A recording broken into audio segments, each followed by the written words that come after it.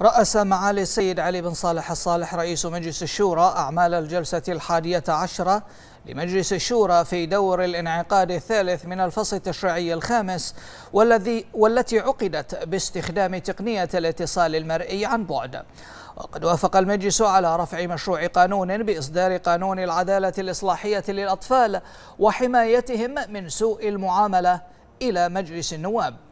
بعد ذلك انتقل المجلس إلى مناقشة تقرير لجنة الشؤون الخارجية والدفاع والأمن الوطني بخصوص مشروع قانون بالتصديق على اتفاقية بشأن الخدمات الجوية بين حكومة مملكة البحرين وحكومة جمهورية المالديف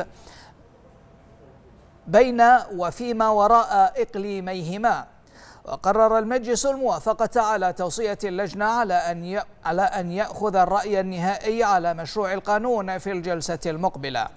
كما ناقش المجلس تقرير لجنة الشؤون الخارجية والدفاع والأمن الوطني بخصوص مشروع قانون بالتصديق على الاتفاقية بين حكومة مملكة البحرين والاتحاد الفيدرالي السويسري بشأن إزالة الازدواج الضريبي فيما يتعلق بالضرائب على الدخل ورأس المال ومنع التهرب والتجنب الضريبي والبروتوكول المرفق بها.